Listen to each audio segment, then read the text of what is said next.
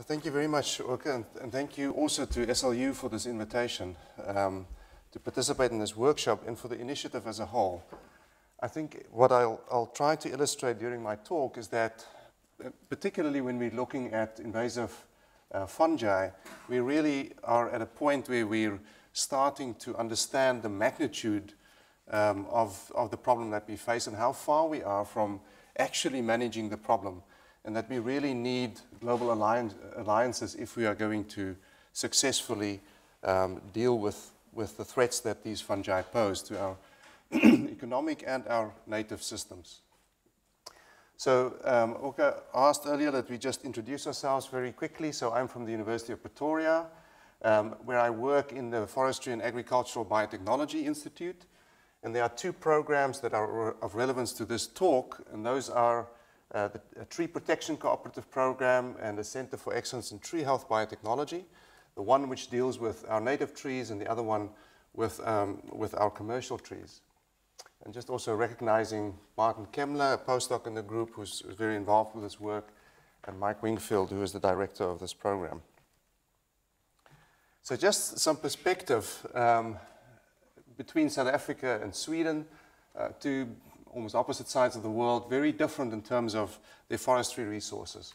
Also populations, you know, we have a, a much larger population, uh, tend to have a much drier environment with much smaller um, forest or tree resources, 1.8 million hectares um, in total versus the 24 million here in Sweden. But in both of these cases, of course, very, very valuable for us, but for different reasons. In our case, uh, a resource that is very vulnerable and needs um, care to protect and to provide in the fiber needs for the country. For that reason, a lot of the the forestry activity is centered around, around plantations based on non-native species. And you see this faint green belt around here. It's a very intensive plantation forestry happening in that area. I'm just going to try and make my system here a little bit more efficient. So I don't have to jump up and down so much. There we go. Sorry about that. So getting to the threat that forest pathogens pose, or that, that fungal pathogens pose to these forests, it's of, invasive um, fungi pose to these forests. It's of course not a new thing. I could give you many examples. This of the magnificent, magnificent chestnut trees in, in the United States that, that were dominant in uh, the forest there until um, an invasive pathogen called Cryphonectria parasitica was introduced and reduced those magnificent, magnificent trees to virtually nothing. And today, uh, they're, they're, absent from these forests in terms of, do, uh, of dominant trees. And it's, it's phenomena that have been well studied and well known in terms of what drives such dramatic outbreaks, uh, in particular when new interactions occur. So these naive hosts are faced with a pathogen that they simply have no resistance to, or you have new traits evolving either through hybridization of different fungi introduced into new areas and so forth. It's a very well understood what drives, what drives these, these patterns.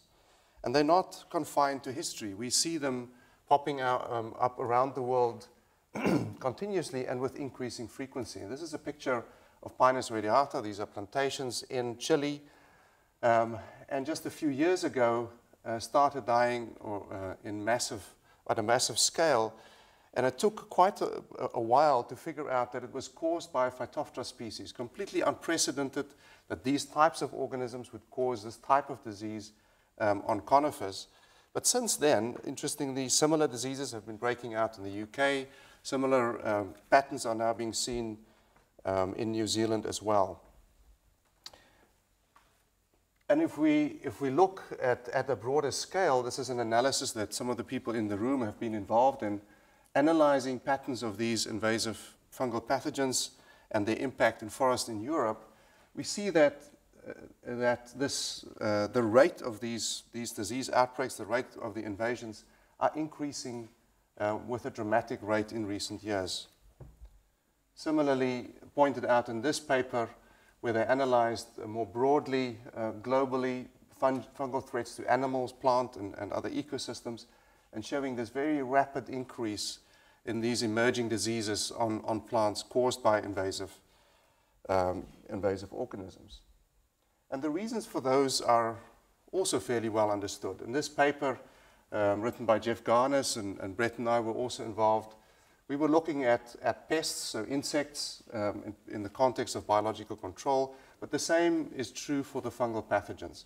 There seems to be this, with at least within the plantation environments where we work, a, a homogenization of these pests, driven by various factors, you know, the, the rapidly increasing uh, trade and transport, hundreds of millions of containers moving around the world with inspection rates of 1 to, 1 to 5%. This is a, a ship destined for Japan, filled to the brim with freshly cut pine logs containing all kinds of organisms. There, um, there are, of course, uh, treatments for that, but one wonders how efficient that can be at a scale, at a scale like this. But also things like, for example, this global homogenization of our environments. More and more of the same species being planted globally, invasive plants also homogenizing our environments and becoming stepping stones um, for these invasive fungi to get a foothold. So really well under, understood patterns. So reflecting on what Mark was saying in, in his uh, talk in terms of where we focus our effort to control it, either pre-entry or post-entry, really when it comes to the fungi, we have to focus our efforts on, on the pre-entry. Once the fungi are established and start moving, it's virtually impossible to do anything um, about them. Very, very difficult. So there's a, a, general agreement that we need to understand the pathways by which these fungi are moving around the world. And in this um, recent paper by um, Sandy Liebhold and others, they analyzed one of these pathways in particular, and that is live plant imports. And I'm putting it up here to illustrate the magnitude of the problem and perhaps some of the things that are behind those rising patterns um, of invasive uh, fungal um, pathogens that I showed in previous slides. So these are numbers of live plants imported into the US. The red line indicating the import value going up above 600 million US dollars a year. And the numbers here above 3 billion live plants that are imported into the US annually. And they analyze within this paper very nicely the efficiency with which such numbers really can be inspected. Um, and, and, it, and as one can imagine, it's very, very low. But then showing, if they look at historical records, the damaging insects and fungi that have been introduced in the US, more than 70% of them are uh, likely use this pathway. So if we consider um, if uh, um, Mark's suggestion of um, using our current patterns and predicting towards the future, they, this really does not um, or, or, spells uh, a very bad picture for the fungi that might affect our forests um, and other plant ecosystems. And that's what's behind a, a declaration with, that was made uh, in 2011 called the Montesclaros Declaration, and here promoted by the International Union of Forestry Research Organizations, IUFRO, saying that they are very worried about this pattern and calling for a phasing out of all tra trade in plant and plant products. Really um, an unrealistic uh, request or unrealistic suggestion, but illustrating the magnitude of the concern that, that are behind this, or uh, concern that, um, about what, is, what we're observing within our forest systems. So what I want to do for the, for the remainder of this talk is have that as a background the, we, we know that these numbers are rising very dramatically, but then argue that even, um, even though we can draw those graphs now, there, there is a vast underestimation of the magnitude and the scale with which this is happening, and that we are uh, really only at the beginning of, uh, of applying tools that can, start, that can help us define that risk and help us find uh, ways that we can manage that, that risk. So I'll run through three broad themes. The one is the scale and the cryptic nature of these diversities and what that holds for understanding their invasion patterns, the complexity and magnitude of fungal diversity, and how are we going to get a handle on this that we can move towards management. so if I look at the scale and cryptic nature of fungal diversity, one of the very first uh, papers I ever published was this one that looked at a fungus associated with an invasive um, wasp. And I found that everywhere in the southern hemisphere, it was virtually a clone. Everything looked more or less the same. And I thought at that stage that that, was 2001, that that reflected very, you know, what many of these fungal invasions look like. There's a single introduction that gets established, and you have these very uniform um, populations. But we've seen a completely pic different picture in most other systems that we've studied. I'll just give two examples here. This one is Diplodia pinea. You can see uh, the, the, the disease it causes on pine. And every one of these pies is a population that was studied and looking at the number of genotypes. So what's relevant here is this is a, an asexually reproducing fungus. The only way that this uh, amount of diversity can occur within the country is if there have been numerous or at least very, very large introductions of these fungi over time. The same for this, for this fungus. Uh, it's a fungus infecting eucalyptus. And I'm not going into the details of what this means. It's just the many different genotypes that you find there, an asexually reproducing fungus um, or clonally reproducing fungus, and just massive diversity that must have been introduced many, many times. In both of these cases, these fungi must have come with plant material. This, these are not things that are blown in the air and, and um, moved there by themselves. Again, um, and, and I, a point that I, that I skipped over or forgot to make when I was looking at those, those rising patterns of invasive fungi is that those patterns are based on assessments of disease outbreaks. We have absolutely no idea um, of what has been moved or are already established in our environments that are not causing disease at that scale. Here we're getting a sense of some of what might be happening. We were doing, and I'll make some sense of the, of the trees for you just now, we were doing surveys in rivers, or at, at one river system um, in the Gauteng province where uh, we are based, looking for Phytophthora species. Phytophthora species are really important, uh, typically um, uh, root pathogens of, of plants, and found uh, something quite disturbing, quite a bit of diversity there, but also some hybrids, and you, hybrids of these Phytophthora species. So what is illustrated here is you see this group here marked in green, and if you look at the nuclear genes, you see it's split between two completely different clades. Here is in one clade. The orange group there, uh, split between two completely different grades. So these are hybrids between different species of Phytophthora. The concerning thing with this is these exact same hybrids occur in river systems in Western Australia.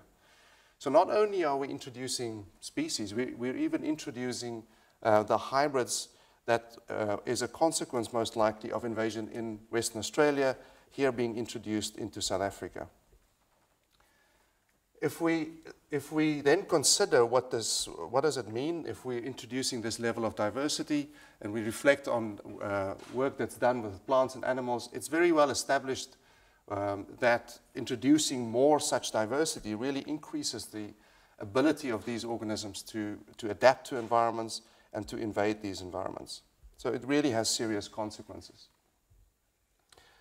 I want to, um, for a part of the talk now, focus on a particular group of organisms that I work with. They're called the Botryosphaeriaceae, and they're amongst the most common and widespread pathogens in agriculture and forestry systems. They more or less infect all uh, the woody plants that you see around you. You'll find them there, and you'll find them inside the healthy plants. They're endophytic. They don't cause disease symptoms for the most part of the infection except when the plants are under stress. Then they start causing typical decline diseases with diebacks and cankers that emerge on the, on the plants. It's important to remember that they spread through rain and wind, so spread between continents really has to be human assisted. And uh, where they start causing the problems is when the plants are under stress. And for that reason, they're also very important within the context of climate change. And we're already seeing cases where there are extreme heat waves in Europe, and you see large uh, forests being affected by these, by these pathogens. And I want to reflect on um, where we are in terms of understanding the diversity of these and the invasive patterns of these organisms. I started off my career doing taxonomy on, uh, on these organisms, um, and it's a really fascinating, fascinating thing to do. You dig into these 150-year-old papers, try and figure out what the Latin means and what the person was trying to describe, to try and, in this case, find a new type, a new living or a new, new specimen from which we could get a living culture to define this particular species. It took us three years to do that, and in the end we realized that that's on this little branch here, what really is the real dothidea and what has been included into the species before is just a vast diversity of fungi. It's not one fungus, it's many, many different fungi. In fact, if we look at just one of the groups that was within this, this called Neofusicoccum ribis parvum clade, and we look within our native environment, and we start isolating this and using the most uh, uh, powerful molecular tools that we have, even that little clade within that contains at least five different cryptic species. So a lot of diversity that previously was just packaged into a particular name. So we could, because our, our systems, uh, the, these old systems of uh, that, those descriptions I was showing you are simply inadequate to now describe these species, we turned to using the molecular characters to now give names to this. It still took us a few years to do, uh, uh, and then that's the point I want to make with this, is this is an inc incredibly slow and cumbersome process to define this diversity. We then use that information to now try and understand the invasion pathways of just one of these cryptic species, Neofusicoccum parvum. And the, the, the, the, title of the paper was The Challenge of Understanding the Origin Pathways and Extent of These Fungal Invasions, because it became almost intractable to figure out where is this fungus native um, and where, ha where has it been introduced. So we could look at worldwide diversity, find many of these lineages, and if you zoom in on some of those lineages, there's just no geographical pattern there. It's just everything is more or less everywhere of a fungus that really should be geographically um, defined based on its natural way of spread. We could also start seeing that some of these uh, appear to be more, uh, some more invasive than others. So if we look across sites in South Africa, this particular species, Neofusicoccum parvum, is the one that we find most widespread in the world, but also popping up at all of these blue star sites in our um, city or disturbed environments. If you look in the native um, conserved environments, you don't find the species. So starting to finally make sense of which of these species are invasive in these environments and which not. But looking at, at uh, the system that we work with here a lot, the eucalyptus system, we started to realize that many of these fungi also originate from our native plants and move on to the eucalyptus and vice versa.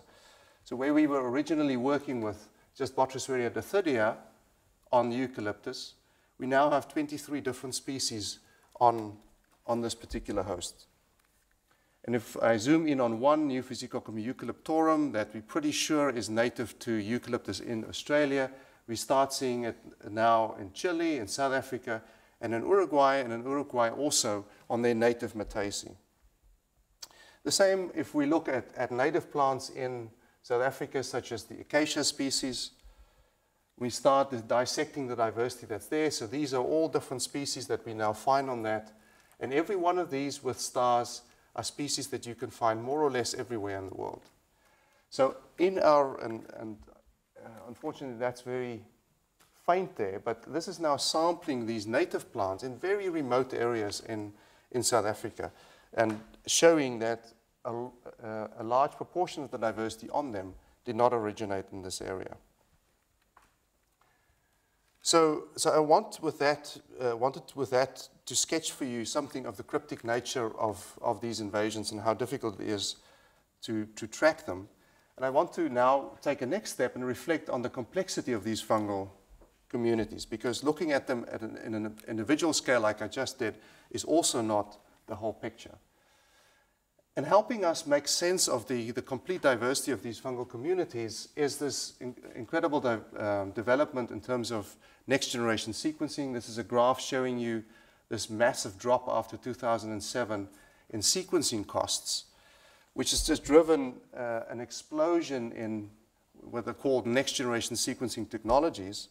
And what this is allowing us to do is characterize whole fungal communities and not only zoom in on specific groups. I have, I have one more slide here. Um, it, it, comes from the McKinsey Global Institute analyzing uh, disruptive technologies for the future and listing next generation genomics in position number seven there. And it certainly is doing that in terms of our understanding of fungal communities. Let me give you an illustration of that. So if we look at healthy eucalyptus plants, we know that these Botryosphaeriaceae and many others can infect these plants and live within the healthy tissue as endophytic infections. So we typically used to isolate these fungi and go through the process of identifying them, which is more or less what I've described to you up to now. What we can now with the next generation sequencing do is directly take the DNA and, and in parallel characterize all the diversity that's there. So what it shows us is if we take the culturing approach and we, we try to be as complete as we can, we get to 75 different operational taxonomic units. So uh, individual units within a, a, a, healthy eucalyptus tree. But then going through some of these next generation sequencing technologies, you can now see that we, instead of working with maybe four or 500 different sequences, we, you can now do almost 10,000 in parallel. The number of operational taxonomic units just increases massively. And you can take this up to, there are technologies now that will give you billions of these reads, and our numbers keep, just keep increasing. These, co these communities are incredibly complex and much, much more complex than what we've ever imagined. So what are some of the things that we're starting to learn from these technologies? Well, here we're comparing the diversity in a comparable sample between eucalyptus and our native syzygium samples. And you see a massive difference in this introduced tree and the diversity that's within that versus the diversity that's within the native tree. Um, and I'm, I'm, just pointing out patterns here. These are patterns that the, the mechanisms behind them we, we simply don't understand. You don't need to know all the detail here. If you look at the, those, th those three parts of the pies, you'll see that those are clearly the dominant fungi.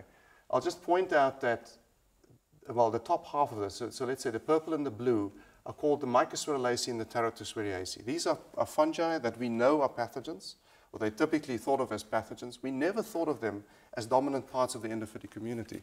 They're completely dominant of this environment. More than 50% of the diversity that's there are within these groups. And the simple reason is that if you isolate them, they grow uh, uh, like a centimeter in a month, whereas the other fungi fill your plate in three days. So it's just a matter of our, our tools were ineffective to, to define them.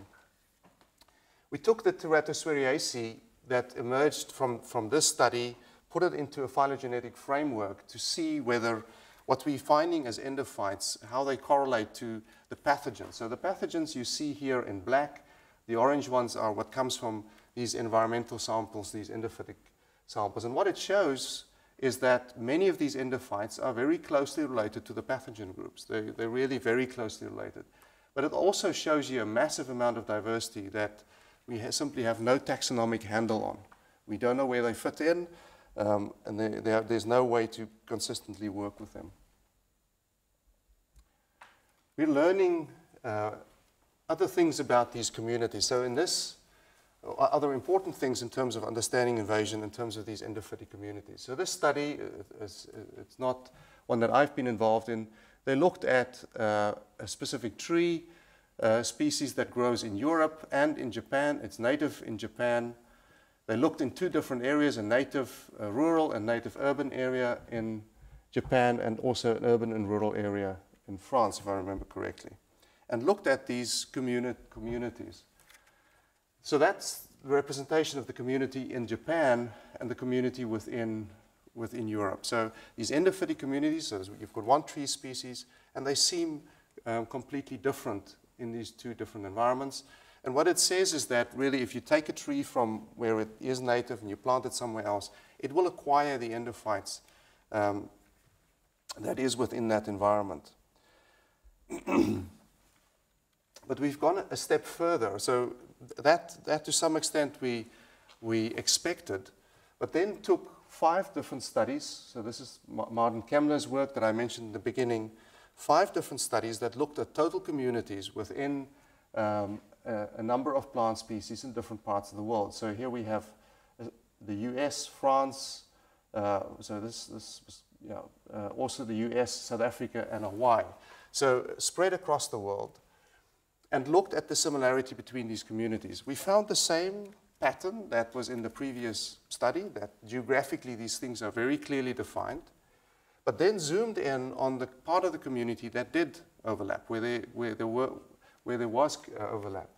And we're amazed to find that the similarities between these, despite their geographic distance, match the phylogenetic pattern, phylogenetic relationship of the host. So what this really tells us is that these, these endophytic communities, even though they, they will occupy or they will infect whatever host you put within that environment, there are phylogenetically related mechanisms, so coevolution between these groups that really shape the structure of these communities. So I wanted with that to just sketch with you, to you a picture of the kind of complexity that we're dealing with within these communities and reflecting on the numbers of plants that, we, that is being imported in the, into the US, live plants, containing all of this diversity. Every time we're moving these plants between world regions, we're moving all of these communities with them. Um, I've also sketched a picture for you for, uh, of our current taxonomic systems, and hopefully you get a sense of, of how inadequate they are at the moment to get a handle on that kind of diversity. To just drive home that, um, that, that point, a few years ago we uh, tried to estimate how many fungi might there be in, um, in southern Africa. And this is a, a little bit of a hand-waving exercise. There are many estimates of fungi around the world that varies from one and a half uh, to 10 million species. So here we came up with a number of 171,000 species, and we thought that that was fairly conservative for the region. So if you match that to the, the current rates of description, it would take us another 6,000 years to describe that. And that, of course, is, is, not only for fungi, but in particularly relevant to fungi. And in this paper, um, Maddison and others reflect on a new type of taxonomy that is needed to ramp up biodiversity discovery. Um, where the old method, this is a completely closed process, so somebody discovers something, ponders on it for many years, goes through the old records, and eventually it gets published and then is known to the scientific community. They propose a method where, um, where data is made available to the community um, um right up front and that the community can start adding information to that process. How much? 10. We've got 10 left. We're doing fine. So that the community can Im immediately start adding information to, uh, to that discovery, but also start using the information that comes from it to a point where you, you put a specific tag um, on that uh, species hypothesis and move throughout this accumulation of, of information towards a process where you eventually describe it. So you end up at the same process. But in the, in, in the meantime, you get A, the, the, imp, the input from the community, but you also make this information available to them um, in a tractable way to do. Is this possible with, within the fungi? Um, it, it is becoming possible to do so, and in fact, it is starting to happen. So the description of these fungi or putting handles on, these, on this diversity is governed by this international code of, of nomenclature uh, combined with the, with, the, with the plants. So they're in, in the same code. And recent, a number of recent changes have relevance to this. One being, for example, that the, fun, the fungi used to have different names for their asexual and their sexual states. That has been disbanded. That, that's a big step forward for this process. It used to require that you have to write your description in Latin and that you have to publish it on a piece of paper, which is absolutely unthinkable in this day and age and given these challenges that we, that we face. That has been disbanded now and this counts as a formal description of a species now. So published electronically and, and no longer um, uh, in, in Latin and using the genetic information that is available. So we really are, I, I think, at a, at, at the stage where, where fungal taxonomy can start, to, uh, can start to um, provide the tools that will allow us to deal with the magnitude of the threats that we're facing. And one of the most recent initiatives, and sorry, uh, what I also just wanted to add here is one of the, one of the points that um, Hibbett and Taylor makes in this paper is that one of our biggest needs is to start a process by which we can put a formal handle on things that we discover within the environment that, that is only known from sequence, so these environmentally identified um, sequences. And that is starting to happen, and, and uh, people at SLU um, also inv uh, involved in this initiative and driven to a large extent here out of Scandinavia, where they've taken a database of sequences that used to focus on mycorrhizal fungi and are now focusing those resources much more broadly through a process where the community can now start participating in annotating sequences that are there, where um, they are starting, they're introducing a new term called species hypothesis. So a, a label that will be added to a particularly defined group, and that would be linked to that group as it goes forward. Community can now start adding the information exactly as has been imagined by Maddison and others um, to start defining um, the units that we're working with. So to conclude, the fungal invasions, most of the, the data that we have at the moment is concerning, but it's based on these disease outbreaks, most of it. And I hope, uh, and, it's, and it's rising, these numbers, just based on that data, is rising all around the world. But I hope I've given you a sense that the real extent of these invasions is significantly greater than what is reflected within those records. Um, I hope I've given you some examples of how barcoding and whole community analysis um, can help us unravel the complexity of these, of these fungal communities. So we, these tools are now available. And that we really would need uh, these whole community barcoding to really understand the magnitude of the problem that we faced, but it will have to be based on curated database. That's this initiative that I've just talked about. Based on these, we can start uh, to think about proper monitoring of invasive fungi, including plant pathogens. So we really, I, I think, at, at, a, at a phase where we um, can start get a to get a handle on the extent and start to base our management practices on that. But it will require an incredible investment in terms of time and, and finances, taxonomic expertise. The role for taxonomists are not decreasing, but really increasing to give meaning to these curated databases and global cooperation. This simply is not something that any particular country has the capacity to, do, to deal with. The tools are there.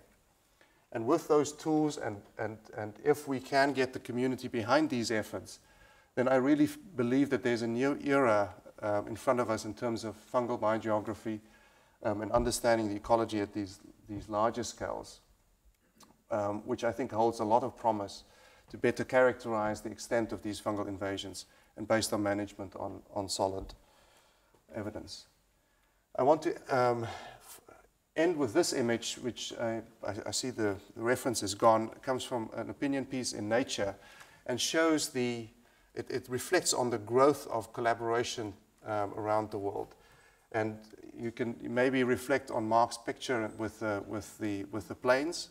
But I think this is what, what is what for me is ins inspiring about this is if it, it's a bit of a gloomy picture to look at these, the rise of these fungal invasions around the world. It's nice that it is matched by these growing global connections in terms of research collaboration.